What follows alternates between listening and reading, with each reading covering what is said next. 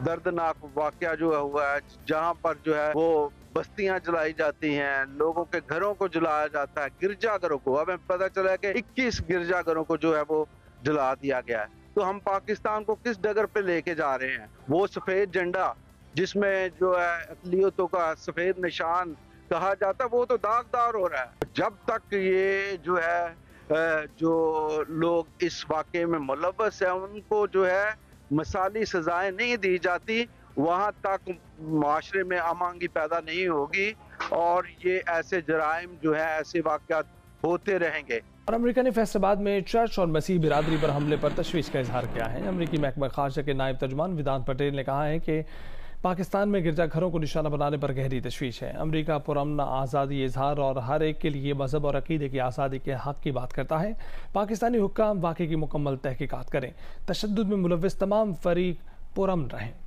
मुसलमान अकलियती बरदरी के साथ हैं किसी को किसी सूरत शरपसंदी की इजाज़त नहीं दे सकते। नमस्कार दोस्तों जहन दोस्तों पाकिस्तान में हालात काफ़ी ज़्यादा ख़राब हो चुके हैं क्योंकि जिहादी पाकिस्तानी फ़ौज और पाकिस्तानी पुलिस के कब्जे में नहीं आ रहे। पाकिस्तानी मीडिया का कहना है कि जिहादियों ने अब तक 21 से ज़्यादा चर्चों को फूंक दिया है, साथ ही 300 से ज़्यादा मकानों को भी जलाया गया है। पाकिस्तान में हालात इस कदर बेकाबू हो चुके हैं, अब तो अमेरिका भी पाकिस्तान पर प्रतिक्रिया देने लगा है, जिससे पाकिस्तानी काफ़ी ज़्यादा परेशान है, क्योंकि पाकिस्तान के मौलाना और मौलवियों ने जिस तरह से पाकिस्तानियों के अंदर जहालत को कूट कूट कर भरा है, उससे आज पाकिस्तान सिविल वार की तरफ़ चलता चला जा रहा है और पाकिस्तान के हालातों में बेहतरी होती हुई नज़र नहीं आ रही। चंद साहब, बहुत ही जितनी मजम्मत की जाए कम है। Army chief general Asim Munir Syed साहब ने भी आज शाम में नौजवानों से बात की, उन्होंने भी मजम्मत की। उन्होंने कहा, इस तरह की कोई हरकत पाकिस्तान में बर्दाश्त नहीं की जाएगी। उन्होंने नौजवानों से कहा कि अमन के लिए किरदार अदा करें। सवाल ये है कि ऐसे वाक़ात गोजरा में होंगे, फैसलाबाद में होंगे, ज़्यादातर बात कर रहा हूँ, जड़ावाला में हो गया। देखिए, लेकिन कुछ हमने अपना मज़हब जो है ना, हमने अपना आउटसोर्स भी किया हुआ है। आउटसोर्स इस पॉइंट ऑफ़ व्यू से कि हमने जो जाहिल मौलवी बिठाए हुए नीचे, ये हमारे सीनियर ओलमा का हक बनता है।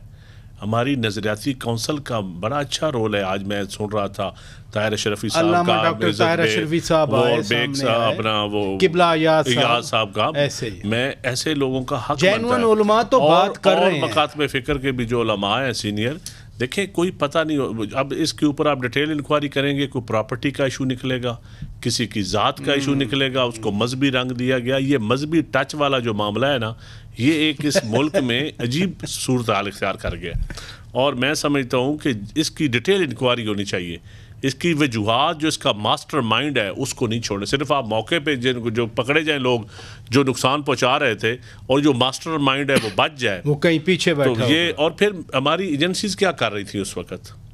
हमारी इंतज़ामिया क्या कर रही थी? हमारे उस वहाँ के लोग जो बैठे हुए थे वो क्या कर रहे थे? मैं समझता हूँ उनको भी सैक करना चाहिए। ऐसी फुटेज मैंने देखी मैं, है पुलिस वाले बहुत पीछे खड़े हैं लोग आगे फैसलाबाद के साथ है। फैसलाबाद के साथ है डिस्ट्रिक्ट एडमिनिस्ट्रेशन बैठी हुई है। कोई पूछने वाला नहीं है। अब अब वहाँ पंजाब की इंतज़ामिया पहुँच गई है। अब क्या आप घंटा दो घंटा तीन घंटे में ये वाक्य कोई आनंद फानन नहीं हुआ? हम्म। वहाँ तो लाहौर से भी दो घंटों में रैपिड रिस्पांस फोर्स किधर है? डॉल्फिन किधर है? किधर थी वो फोर्सेज हम्म। जिनका जिन्होंने रैपिड रिस्पांस फोर्स जिसका तो इसका मतलब है आप ये सारी इंक्वायरीज होनी चाहिए।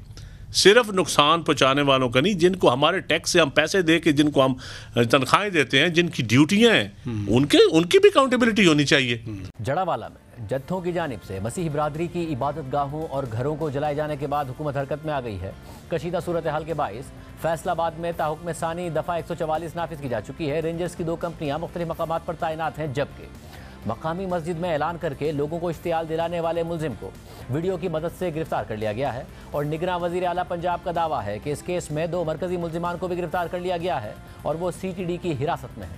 सिर्फ़ यही नहीं, आज इस वाक़े से मुतालिक जो स्पेशल ब्रांच की इब्तदाई रिपोर्ट सामने आई है, वो दिल दहला देने वाली है रिपोर्ट के मुताबिक। जड़ावाला वाकयात में 16 गिरजा घरों को आग लगाई गई है। सुबह आठ बजकर पंद्रह मिनट पर सत्तर से अस्सी अफराद ने एहतजाज शुरू किया। कारोबारी मराकज बंद कराए गए। शहर और कई देहातों की मसाजिद में ऐलान के बाद लोग जड़ावाला पहुँचे। क्रिश्चियन कॉलोनी में ग्यारह बजे मुजाहरीन ने तोड़फोड़ की और चर्च और घरों को आग लगाई गई।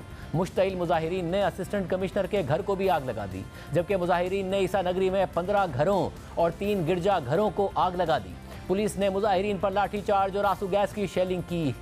सिर्फ़ यही नहीं, गुजशत रोज़ जलाओ घेराव के दौरान मसीही ख़ानदानों ने रात खेतों में गुजारी है, जिसकी तस्वीर भी सामने आ गई हैं। और दूसरी तरफ़, इश्तियाल अंगेज़ी तोड़ फोड़ और जलाओ घेराव के इल्ज़ाम के तहत अब तक पाँच मुकदमा दर्ज हो चुके हैं। सैंतीस नामजद और छः सौ से जायद नामालूम मुलजमान के खिलाफ मुकदमात में इंसदादी दहशतगर्दी समेत तेरह से जायद दफात लगा दी गई हैं। सौ से जायद अफराद को अब तक गिरफ़्तार किया जा चुका है, मगर क्या गिरफ्तारियाँ, माजी की तरह सिर्फ़ नुमाइशी गिरफ्तारियाँ साबित होंगी? और माजी की तरह मुलजिमान गुजरते वक्त के साथ फिर से रिहा हो जाएँगे या इस दफ़ा रियासत ने फैसला कौन कार्रवाई का फैसला कर लिया है? ये सवाल अपनी जगह बरकरार है।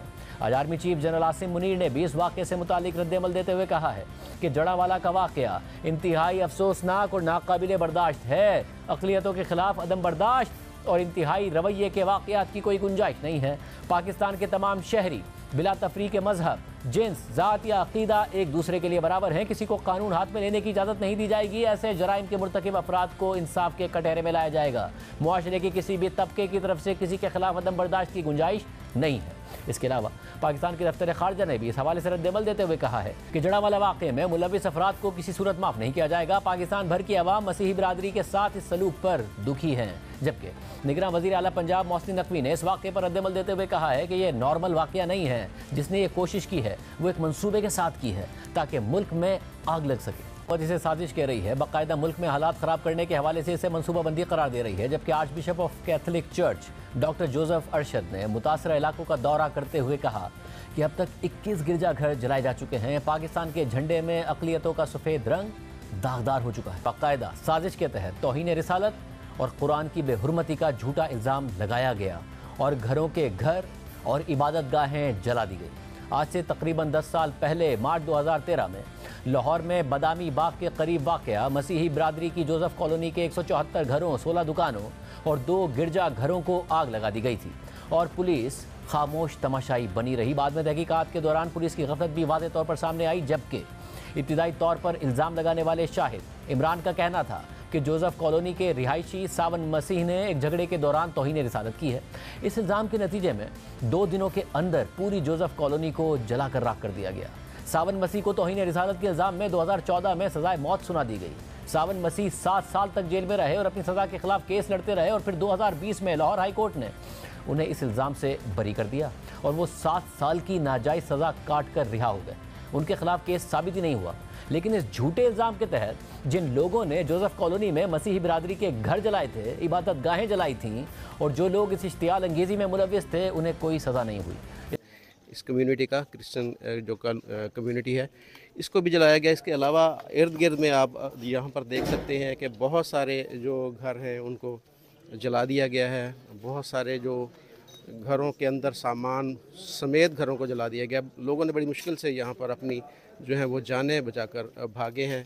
तो उसके बाद में पुलिस और दीगर अदारे पहुँचे और उन्होंने इस इलाके को अपने जो घेरे में लिया हुआ इस वक्त भी सिक्योरिटी के ख़ास इंतज़ाम यहाँ पर किए गए हैं। आप देख सकते हैं कि यहाँ पर पुलिस के जवान भी मौजूद हैं। रेंजर्स की भी नफरी इर्द गिर्द मौजूद है। लेकिन यहाँ पर जो नुकसान हो चुका है इस वक्त, ये जो कम्युनिटी के लोग हैं वो कह रहे हैं कि 300 से ज़्यादा जो घर हैं वो जलाए जा चुके हैं और हमारे भी इसी तरह आते हैं। लेकिन ये जो काम है ना ये अच्छा नहीं तो किया। ये काम किसने किया? आप कह रहे हैं कि मुसलमान आपके साथ मिलजुल के रहते हैं प्यार मोहब्बत से रहते हैं तो फिर ये काम जो हुआ है वो लेकिन ये किसी ने इश्तियाल अंग्रेज़ी की है सारी। लेकिन वो हमारे बस की बात नहीं है जिस पे इल्ज़ाम आया बच्चे पे और बड़े पे भाई हमारा भाई है वो सरकारी मुलाजम है उस पर इल्ज़ाम लगाया गया कि जिसने ये किया तहनी रसालत की है लेकिन वो हमारा जो ज़मीर है ना वो मानता ही नहीं वो वैसे भी वो बंदा दुआ नमाज़ का पाबंद है ठीक है ना? यानी कि वो एहतराम करता था इस्लाम हाँ का एहतराम करता था। एहतराम करता था वो और, और वो सरकारी मुलाजम भी है। हम्म। वो ऐसा काम नहीं कर सकते थे क्योंकि तो पीछे कौन हो सकता है कि जो इस तरह का इल्ज़ाम लगाकर ये सारे जिसने हालात ख़राब किए कोई ना कोई तो अनासर है ना ऐसा जो ना ये हमारे मामला को ख़राब किया जिस उन्होंने ठीक है ना? तो दोस्तों देखा आपने किस तरह से पाकिस्तानी मीडिया भी अपने मौलाना और मौलवी पर बस, बरस रहा है, क्योंकि मौलाना और मौलवियों ने जिस तरह से मदरसाओं में इन लोगों के जहन को इस कदर घोल दिया है कि ये माइनॉरिटीज़ को कुछ नहीं समझते। पाकिस्तान में वैसे भी माइनॉरिटीज़ थोड़ी बहुत बची हैं, वो भी अब पाकिस्तान धीरे धीरे खा जाएगा, क्योंकि जिस तरह से पाकिस्तान के मौलाना लगातार हिंदू लड़कियों को उठा उठा कर उन्हें इस्लाम में कन्वर्ट करते हैं और बुढ़ों के साथ शादी करवा देते हैं उससे साफ़ पता चलता है कि पाकिस्तानी किसी भी कीमत पर अपनी माइनॉरिटीज़ के साथ नहीं रहना चाहते। यही कारण है कि अब पाकिस्तान में जिस तरह से चर्चों को फूका जा रहा है और सिखों ईसाइयों के घरों को फूका जा रहा है उससे साफ़ पता चलता है कि पाकिस्तान में माइनॉरिटीज़ का रहना मुश्किल ही नहीं, बल्कि नामुमकिन हो चुका है। क्योंकि ब्लास्फेमी के आधार पर ये किसी की भी हत्या कर सकते हैं, इनके लिए कोई कानून काम नहीं कर सकता। करता, क्योंकि यही कारण है कि इन लोगों को सज़ा न मिलने के बाद ये बर, एक के बाद एक बड़े बड़े कांड करते चले जा रहे हैं। आपके रहा है कमेंट में ज़रूर शेयर करें। यदि आप चैनल पर नए चैनल को सब्सक्राइब करें। वीडियो पसंद आए तो लाइक करें, कमेंट करो शेयर करें। जय हिंद, वंदे मात